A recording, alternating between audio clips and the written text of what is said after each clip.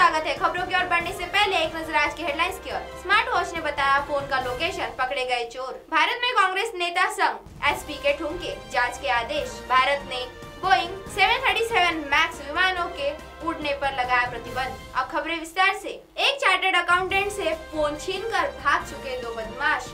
कुछ देर बाद पकड़ लिए गए। दरअसल चार्टर्ड अकाउंटेंट ने अपने एप्पल वॉच से आईफोन को लिंक कर रखा था, जिससे उसे फ़ोन का लोकेशन पता चल रहा था।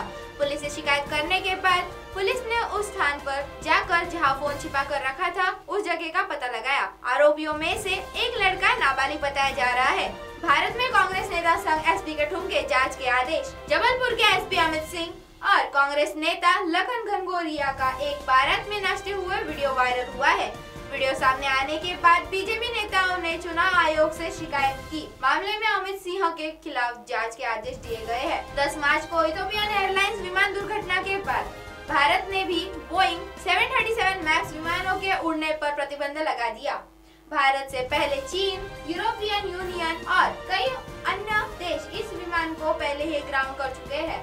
10 मार्च की दुर्घटना से पहले पिछले साल अक्टूबर में भी इंडोनेशिया एयरलाइन का एक बोइंग 737 मैक्स विमान भी दुर्घटनाग्रस्त हो गया था। छह महीने से भी कम समय में इस श्रेणी के विमानों की दो दुर्घटनाओं ने विमान की सुरक्षा को लेकर सवाल खड़े कर दिए हैं। ये विमान तब तक ग्राउंड रहेंगे जब तक इथोपियन एयरलाइंस दुर्घटना की जाँच रिपोर्ट नहीं करती और विमान के दुर्घटनाग्रस्त होने के कारणों का ठीक से पता नहीं लग जाता।